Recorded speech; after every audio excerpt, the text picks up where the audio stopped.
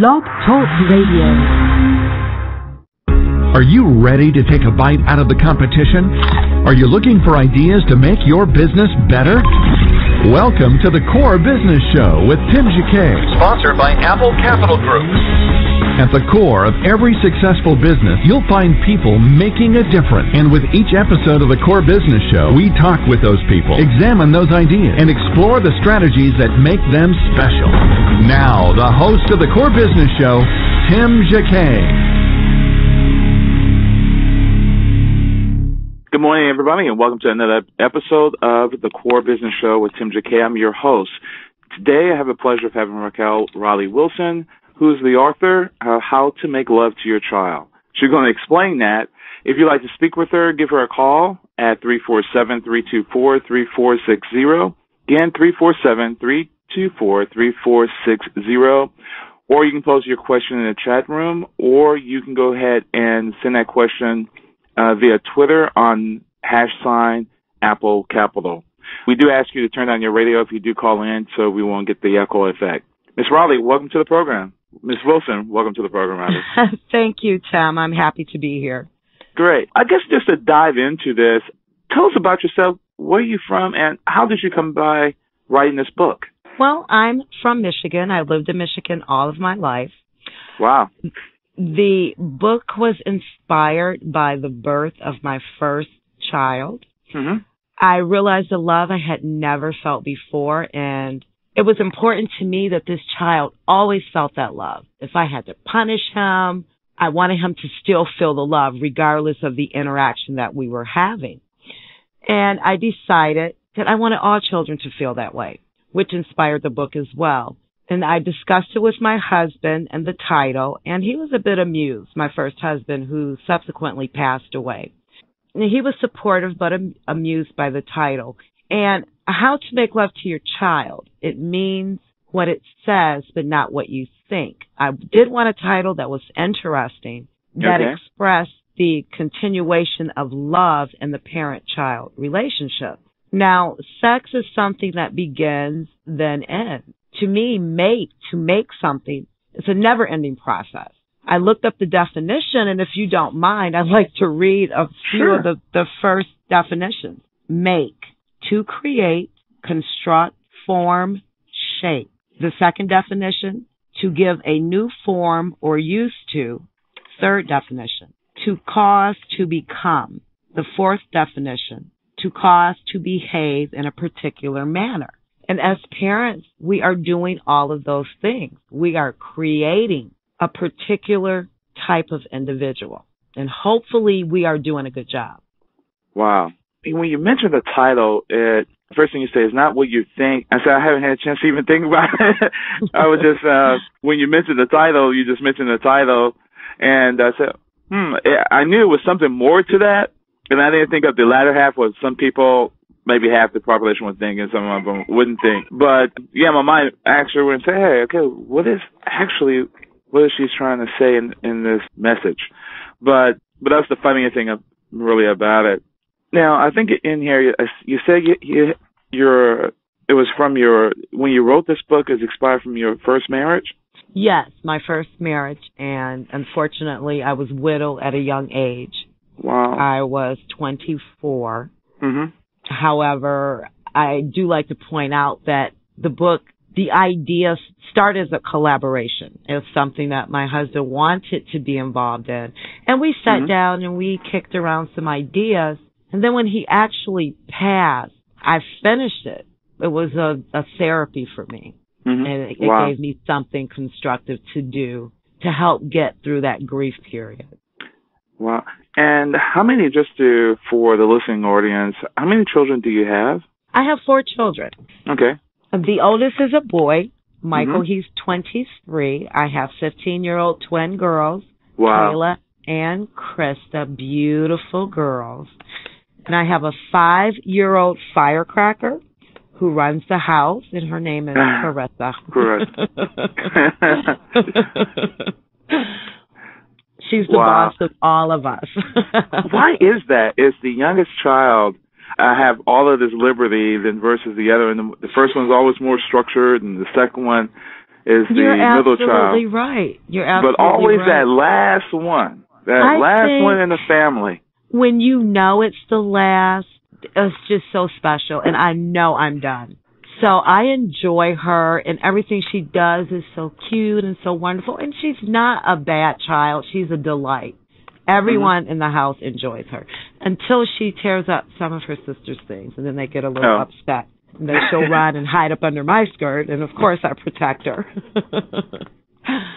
Well, how long this book has been out? Well, I debuted the book. I was 26, 1993. It received quite a bit of press. Press, I'm sorry, both Mhm. print and television. However, being a self-published author, I was unable to get a distributor. So I pulled back and I attempted to get a distributor. It never happened. Fast forward to now in Amazon. Amazon is such a blessing for self-published authors. I love Amazon. The book Wow. is available on Amazon in POD format as well as Kindle ebook format.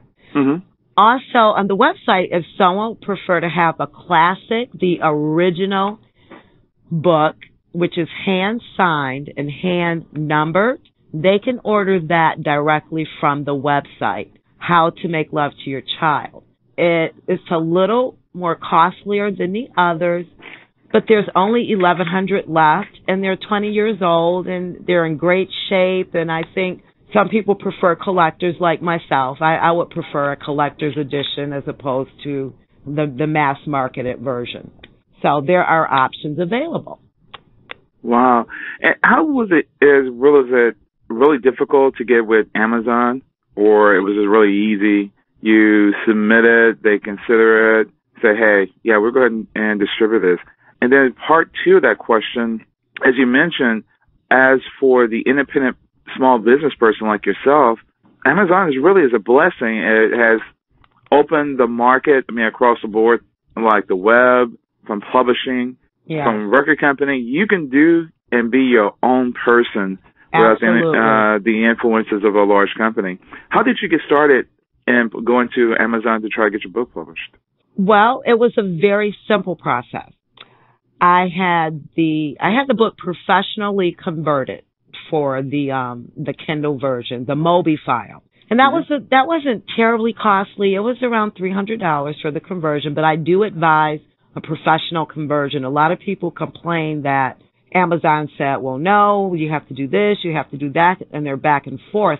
But usually those are the people who uploaded their Mhm. own version or, you know, are directly from their file to Amazon, and that doesn't always work, which is why I went with a professional, to have it professionally done. The process is very simple. Amazon is very quick. It says your book will be available in three to five days. It was available in 12 hours. I was thrilled. Wow. That was the POD. And when I uploaded the ebook, that was available in maybe a day and a half. They're very quick. You have a question, they respond. So it's it's it's a great opportunity for self-published authors. The Wow. only thing is you have to be prepared to self-market. Okay.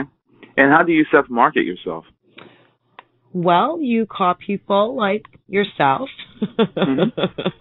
and explain what you have and the benefits to that particular company or to their listening, I'm sorry, that particular program and also the benefits of what you have for their listening audience. And if they're interested and they feel it's beneficial, then they'll have you on. You can also contact newspapers, your local paper to have articles written. I know there are um, book reviewers online as well. And one thing I recommend anyone can do, Google um, how to market a self-published book. And there are numerous Wow. ideas. And some work for others and some don't. So if you Google that, you can see, according to what your material is about, which direction is more suitable for you. Okay. And that's a just Google and and and and the information comes up. Yes, Google how to market a self-published book, tips on marketing a self-published book, things like that. Okay. And there are several Um, out there. And there are successful authors who have done certain things and they will tell you what they've done. But like I said, it's all different and you have to decide which method will work the best for you. Okay. And when you start your process, when you call a uh, a newspaper and and kind of explain your story, mm-hmm. were they really receptive, or they said, "Well, let me read Is the it, book first, and then we go from there," or how that for conversation me in happened? particular, from because mm-hmm. of the title of my book? Is that why you're asking that? Yeah, because of the title okay. and when a person just normally calls. I mean, sometimes okay. we can get them, sometimes we can't. Well, fortunately, because of the pre-press that I've had, initially when my book debuted in 1993, I did the parent-child marriage ceremony and used it as a launching pad to get attention for the book. And also it was a beautiful event of something I, I wanted to do anyway. And it's a ceremony that I created and it's also in the book. So I invited the press and they attended. There were interviews, um, there was television. So it ended up on the local news. Um, the, the Detroit News covered it and eventually it went over AP. So, and that's when I started getting calls from television shows, national television shows, and I know the articles were reprinted all over the country through AP, the AP wire service. So if you can figure out an event that would be of interest to launch your book or product, that would be great. You can get the press to come out and hopefully it'll snowball from there. Wow. But um, PR, it's it's a lot of work. It's a lot of work, and you have to be motivated. You really have but having a computer is amazing. It's like right at your fingertips.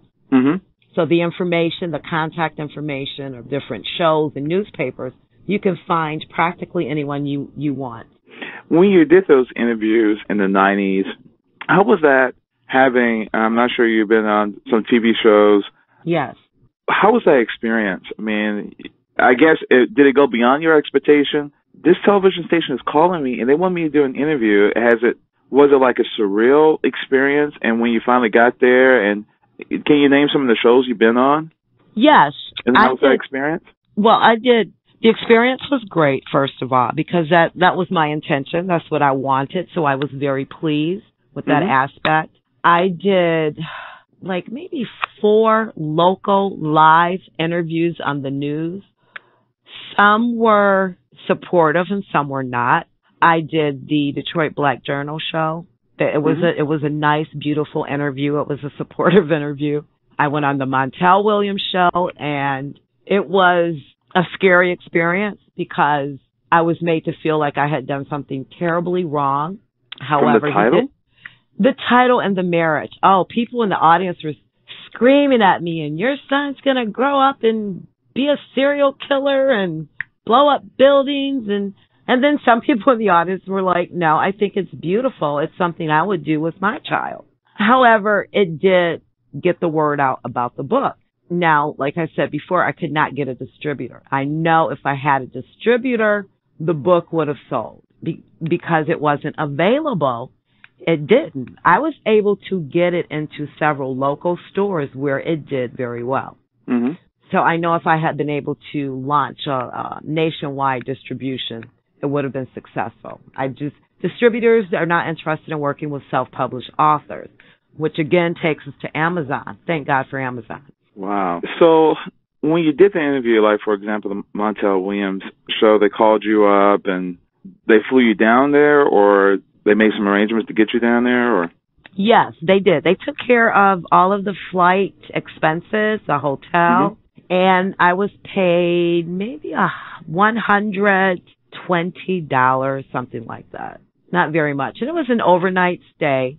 They took care mm-hmm. of everything. Someone was waiting at the airport with a sign that had my name on it. We wow. were driven to the hotel and just kind of given an idea of what time they would pick us up for the show. And it went very smoothly. The, the, angle that Montel came from was that it was a negative thing. However, he was married at the time. His wife was on set. And in between break, I heard her tell him honey, I've been flipping through this book and it's beautiful. It's, you should look at it. You should look at it and change your mind. And he's like, brushed her away like, I don't want to hear that right now. I have everything settled. I already Well, know my you- approach. Do you think it because the reason was that way because he he was trying to get a controversial type Absolutely. Absolutely. Okay. Then versus Absolutely. they're saying, okay, here's the the meat and potatoes of this book. So if we ask you what the meat and potatoes of the book, how will you give us that that cliff note meat and potatoes of the book on how to do things? Well, I believe that parents do not come from an angle of respect because as parents, we know that the children belong to us.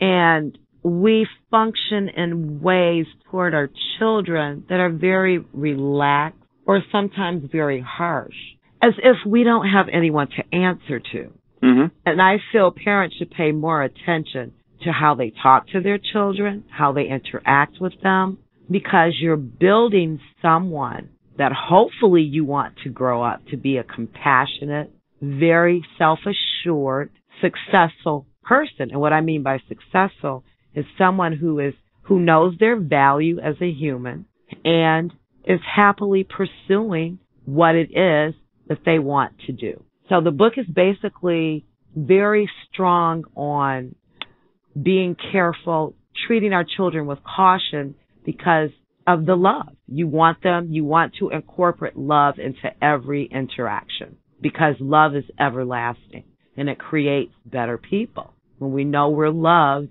we feel wonderful. and I think it provokes the, the best in us as well. Wow.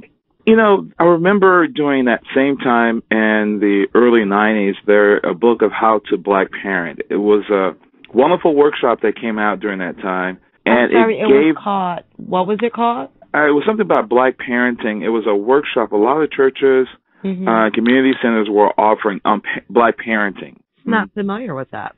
Yeah, I saved the book, and if I find it, I send it to you as a source Thank of you. reference. But I remember t- when I was teaching, I was five years out of teaching, and this was almost the same time your book came out because I think I was finished school in '89, and I mm-hmm. think around '93, '94 is when that whole series swept the nation about black parenting. Maybe your book had something to do, do with it, but it was this whole workshop on how to parent your child and we came from the the old school. We beat, not necessarily beat, literally our child to protect them, but the concept was a little differently. We have more control of our child as black families and versus the other races because we're trying to protect them. In a sense that if you go back, you know, during the early part of the last century, if we didn't keep our child in line, we had someone else is going to put them in line and put them to the grave. So we were a little bit more harsher on our children because we had to instill, hey, you can't do that. You can't do this like this other child. You can't do this because Susie is another race and is able to do what she wants. We don't have it like that. I mean, one thing that goes wrong or go bad, I mean, you're at risk of going to jail or going to the grave. Absolutely. Is, that coming clear?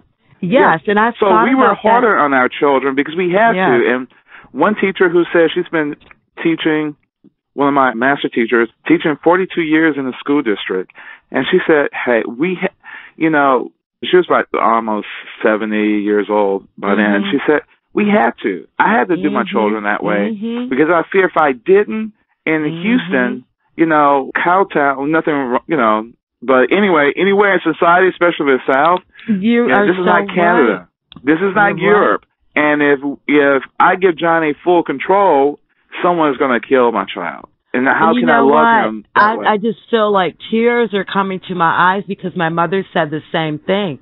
They grew up in such a different time. There was a lot of fear. You had to stay in line. You're absolutely right. And it, it was very scary. And I think that that method of raising actually inhibited so many blacks where they it carried over into their into their lives and those few who were able to follow their dream they had something extra but many were confined because they were taught to just stay in your place but another thing i want to add to that i mm-hmm. believe that there was a there's a lot of harsh treatment toward black children from their parents that came from slavery. And that's the beatings or the whoopings that were so popular. Thank God they're going out of style now.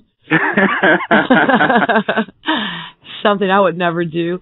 And some, especially the those in lower economic situations, the way they speak to their children. And I've always felt that that was left, that was a legacy left over from slavery. Whereas, you know, you're not, you're not as good as everyone else. And self-consciously, I think a lot of parents taught that message to their black children and treated them according to that message. Not all, but I've seen it. I've seen that attitude. But then again, I've seen it in white families as well, where the parents were not very loving or quick to punish and hit. So, but yeah, you, you absolutely hit the nail on the head with the, um, the fear. But now it's changed.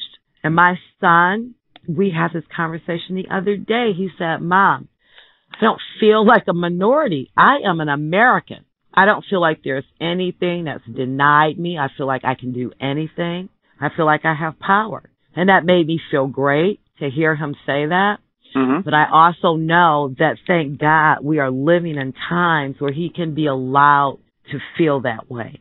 Absolutely. And if you look at, you know, things start to really change in the 70s and the Yeah. 80s, and it, it's going to take some time, you know, maybe another 50 years or better, probably in 100 years, it's just maybe like a fake, mem- you know, memory. But if you go back, you know, I think even within churches, community groups, and even with some grandparents, they're kind of not as harsh anymore. They're calming down because Yes. now there's more opportunities available. Yes. You have some still in their head, you know, they they backslide and say, oh, you know, then they catch themselves. Mhm. But you know, they really have given their grandchild or even the recent parents giving their more children more flexibility and, and more freedom. And with the integrated communities, and we can move safely into different communities and that integration. But it, we also just have to keep in mind, you don't, you know, even though that we are African Americans, still be conscious that we don't have the same rights. And it might be a, a few generations more. Yeah, you have your Barack Obamas, but Mhm. also you have your Trayvons as well. Uh, Yes, that you can walk on the street and something could happen. When you get stopped, something could happen. Yeah. So it's not there yet, but we've made a lot of progress in that. And going back to, you, I think, a couple of questions, your ideas of things we already mentioned, but the you have a self ceremony that's been performed with all your children. Has the ceremony been performed with all your children? Well, I performed it initially with Michael. Okay. The twins, I never did it. And I asked myself why recently. And I think I was too busy taking care of twins. but I have the ceremony between my five year old and I, it has been performed. And she mm-hmm. enjoyed it very much. And if you don't mind, I'd like to read it. Sure. That's what I was going to ask. oh, great. Okay. Now, before I begin reading, I'd like you to understand that I, it, although it's called a marriage, it's not an exchange of vows. Only the parent is vowing. The child is uh, the recipient. Okay. I do hold sacred the anatomy, which I have created now. At this moment and forever shall I cherish and adore you. I gave to you the gift of life wrapped with a never ending ribbon. For one end I shall hold and offer you the other, so that no matter how far you travel in mind or body, you will always find your way back to me if I am needed. For I promise to never let go of my end, but will patiently await your return if I am needed. Together we will endure the joys and pains of existence, the tears and laughter of life. Your beauty will make me exquisite. My love will render you glorious. A true marriage we will share, an allegiance of truth, honesty, devotion, and adoration. Comrades always, inspired by the purest love. And Wow.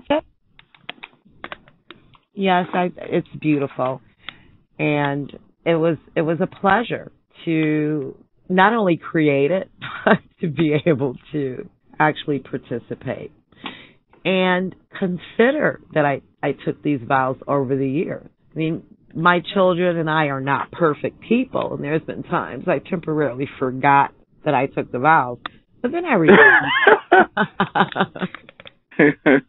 the you probably have to probably have lay hands or something. How do you punish punish your child? You know, I don't like to hit. I prefer talking.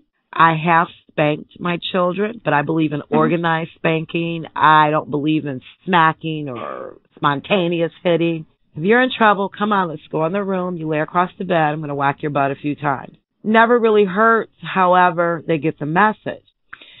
But I do prefer to talk. And I'll tell you, the very first time that I went after Michael with a belt, he was maybe 11. I can't remember what he did, but I was so upset and angry, probably something dangerous or he he needed to get whacked a few times, whatever it mm-hmm. was. And I went in his room, I yelled at him, I whacked him, and I left the room. And I felt terrible because I had never ever spanked him before.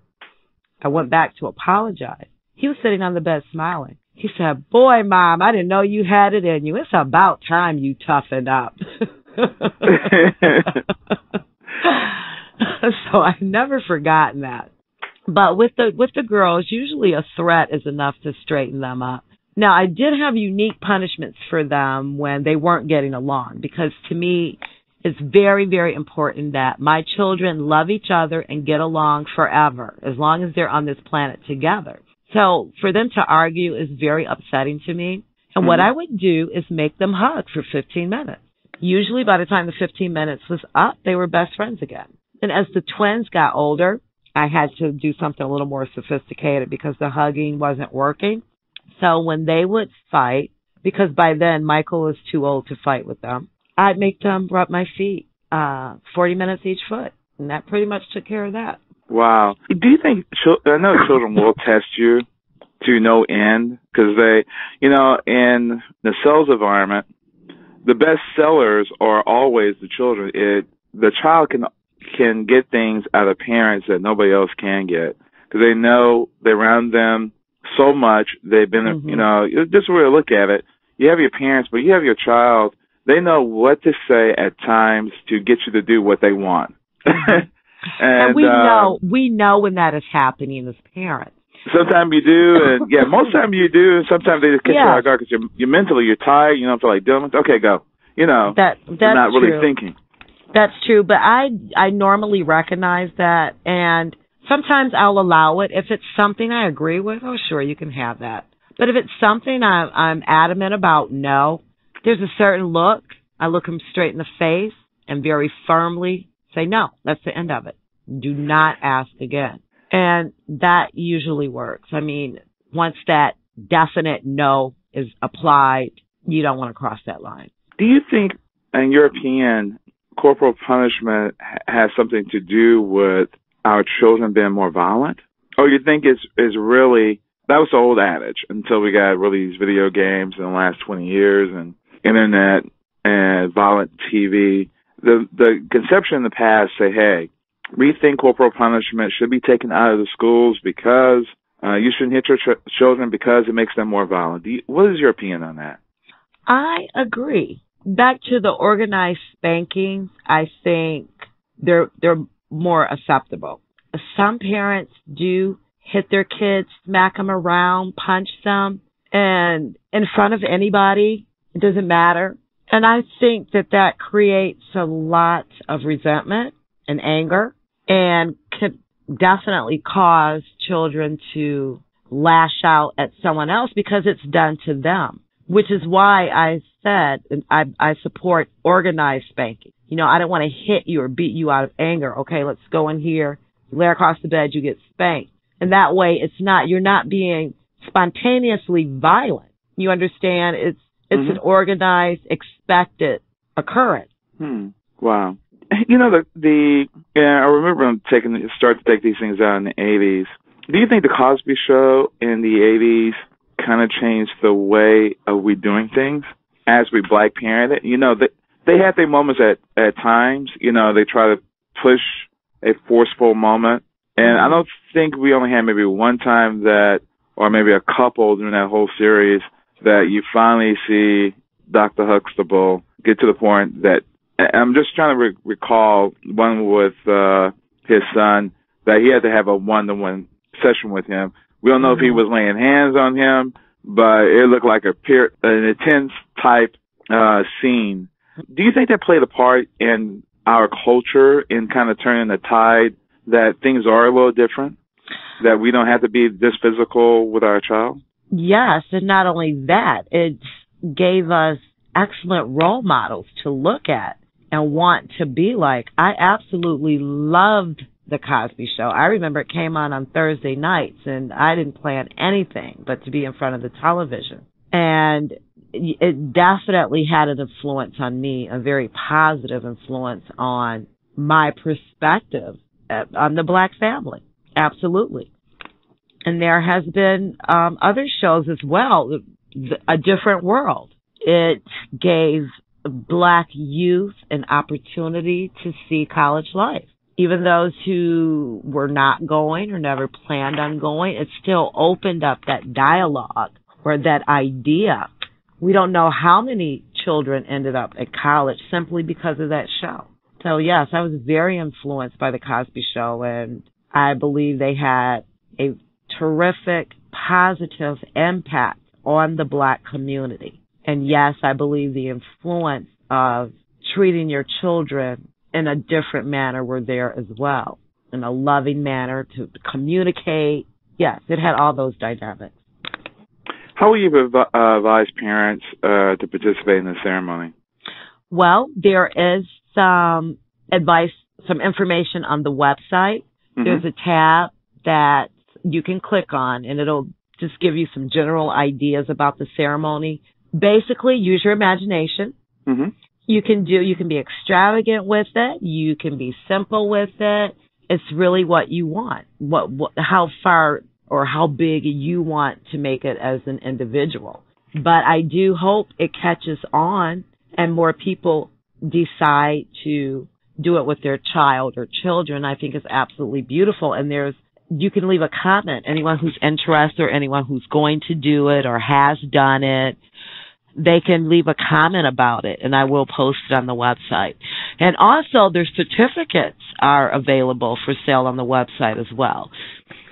It's the ceremony itself on a, on a separate card and then the certificates that you sign to show that you did the ceremony. And they're really beautiful and I think it's it's a nice keepsake something to have and to treasure. And uh, how do you feel about the average parent that does not do or they should be doing? The average parent who, I'm sorry, could you? Okay. Yeah, I was just trying to get an idea. Like, for example, what do you feel the average parent does not do and what they should do? And we talked about it earlier in one sense, but in a sense of talking about what they should be doing, really. Okay. I think the average parent does not respect their children. What I mean by respect is minding how they typically interact with them. So often as parents, we feel we can treat our children as we please because they belong to us, which is true. But they don't realize the respect that the importance of respect for any relationship to function at its highest level. I also think the average parent does not take into consideration that their children grow up and when you look them in the eyes as adults, you're looking at your child as an adult and you are an adult. What do you want to feel? Do you want to feel guilt about a lot of things that you did or the ways that you treated that adult when they were a child or do you want mm-hmm. to feel good about the influence or the role that you played in your lives. And these things need to be thought of as well while they're little. We don't think about that. But they grow up and, hmm, I don't want them to grow up and say, oh, you were so terrible to me. And, you know, I mean, they're going to have something to say anyway, no matter how great you are. but you don't want it to be true. wow. And I think the last couple of things, real quick. What is your greatest moment as a mother, and what are you going to be doing next on your journey? My greatest moment as a mother, I actually have four. And that was seeing the face of my baby for the first time, each baby. That was what I waited nine months for. hmm So I've had four great moments. And what I'd like to do next, I'm actually working on a how to make love to your children. I've been taking notes for a second book because the dynamics are different. hmm I originally wrote how to make love to your child, um, I had one child. Now I have four, and I've, I've learned a lot. and I feel that I've gained some insights that will be helpful as well that come with having more than one child. And the funny thing about that, my daughter Carissa, the five year old, she's familiar with the book since I've reintroduced it. And she said, Mom, you know, when you wrote that book, How to Make Love to Your Child, you only had one kid. Now you have four, so you have to write How to Make Love to Your Kids. And I said, okay, honey, and I will do that. But I actually had already st- started to take notes for a second book. And I also write children's books. I really enjoy it. They're fun. It's a Yeah, great way to relieve stress. So I have some characters that I've developed and I'm very excited to eventually come out with some children's books. And I Wow. believe children should read and just make books that they just love so much they want to read these books. Wow. And what do you, if you had a closing statement that you want to leave us with, what would you like to close with? Well, I'd like to say that initially when I wrote the book, we were kind of in a dark ages, especially as far as African Americans, hmm but I see a lot of progress. I'm out in public now. I hear, it makes me smile.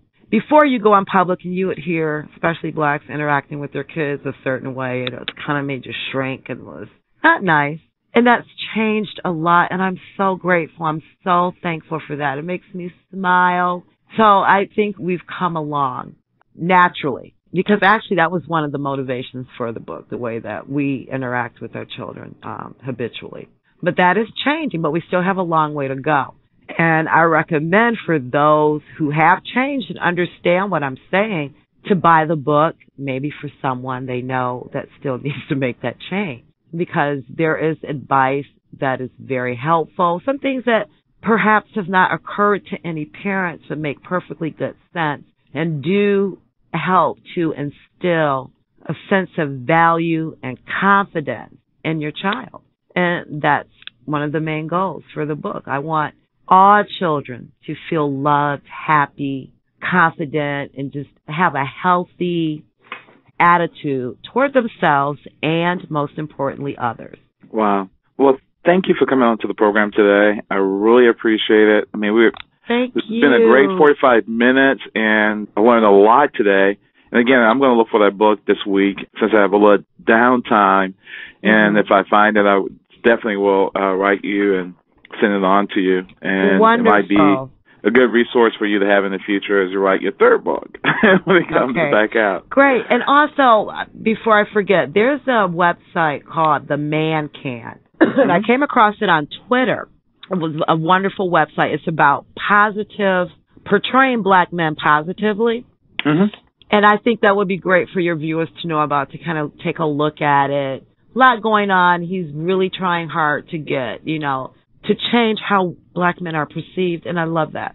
So I just like to end with that as well. Okay. And it's called The Man Can. I'm sorry, the Black Man Can dot org. No problem. I will reach out to him. And in do the meantime, that. Do that. Okay. In the meantime, give us your website address and how they can find your book, and if they have any questions of you, how can they contact you? Okay. Um, the website is how to make love to your child.com. You can Google that or you can Google Rochelle Riley Wilson and it'll come up as well. hmm Again, the book is available in three formats. On the website only, you can purchase the original book, which is 20 years old and hand signed and hand numbered. If you don't wish to do that, the book is available on Amazon. You can go connect to Amazon from my website or go directly to Amazon in both um, print on demand format and ebook format. If you'd like to leave a message for me, the there's contact uh, on the website, and anyone's more than welcome to put in their information and their question or comment, and I will be more than happy to respond. Great. Thank you so much. Thank you for your time. Thank you for coming on to the program. You're welcome. Thank you for having me, Tim, and you have a wonderful day. And great. Thank you. Have a great one. Okay. Take care. Take care. You can download this episode on Blog Talk Radio, uh, the Apple Capital site for the Core Business Show. Uh, also, I did put the link to Ms. Wilson's page there as well, so you can click on that and go to her website. You can download this episode on the iTunes or podcast or Podfeed or blog at Apple Capital Group. Thank you for listening to the program and have a great week. Take care. Thank you for listening to the Core Business Show with Tim Jacquet. For more information about equipment financing and asset-based loans, visit our website, applecapitalgroup.com. That's applecapitalgroup.com. Or call us at 866-611-7457. We hope you'll join us for our next episode. And remember, you can always get to the core via iTunes. You'll find all our previous episodes there. And thanks again for listening to the Core Business Show with Tim Jacquet.